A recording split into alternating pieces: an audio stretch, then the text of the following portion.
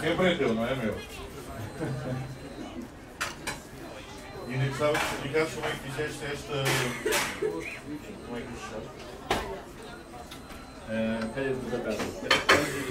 Calha de batata. Foi só ralar a batata num ralador pequenino. Uh, depois com, com manteiga clarificada eh, uh, fritei, uh, fui, fui salteando